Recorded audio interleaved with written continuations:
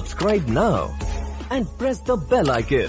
Never miss an update. We know one thing, our friends are not only good in Telugu language songs, but also in religious songs. What? What are you talking about?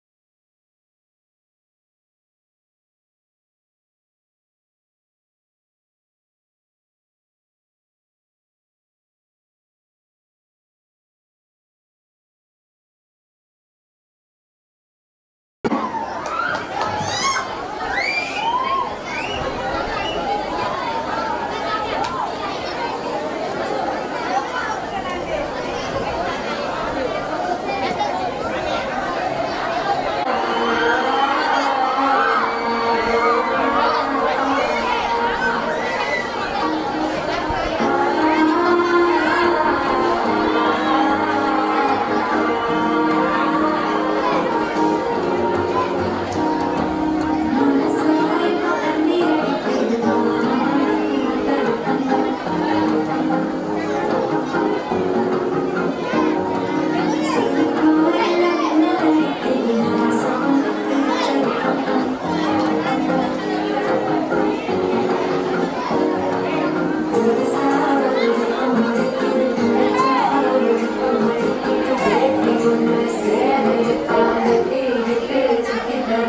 the